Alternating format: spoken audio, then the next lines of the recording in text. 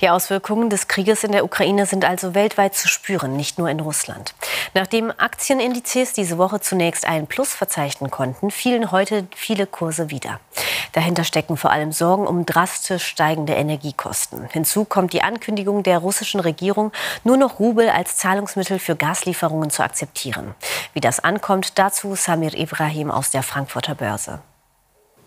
Man hat es zur Kenntnis genommen. Ähm, es gab natürlich sofort eine Reaktion auf dem Devisenmarkt. Der äh, Rubel ist dadurch äh, kräftig äh, gestärkt worden. Er ist gegen die, bei dem US-Dollar um rund 15 Prozent angestiegen. Das ist auf dem Devisenmarkt ganz ordentlich.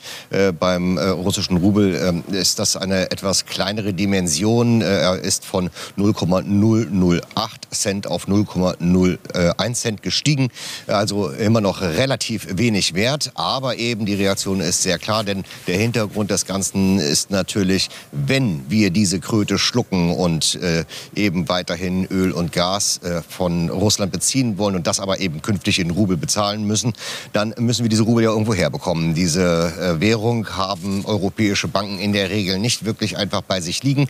Das heißt, das äh, muss also eingetauscht werden. Und wo tauscht man das ein? Bei der russischen Zentralbank, die man ja eigentlich lahmlegen wollte. Also das ist sozusagen dieser Effekt, der da in der ersten Sekunde dann auch gleich eingetreten ist. Auch der Gaspreis äh, für europäisches Gas ist kräftig gestiegen um rund 30 Prozent in einer ersten Reaktion. Und auch da die gleiche, äh, die gleiche Grundlage.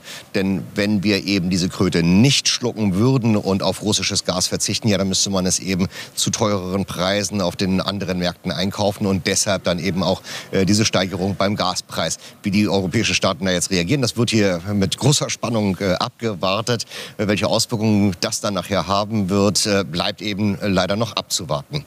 Am Aktienmarkt bleibt man deswegen auch weiter in Deckung. Der DAX ist heute noch einmal äh, kräftig abgerutscht, nachdem er zuletzt ja äh, einen Höhenflug nach dem anderen erlebt hat. Der Schluss stand heute bei 14.284 Punkten, also 1,3 Prozent ging es runter, rund 190 Punkte. Die Situation bleibt eben angespannt und die Konjunkturdaten, die wir zuletzt hierher bekommen haben, waren auch nicht besonders erbaulich. Sami Ibrahim, vielen Dank.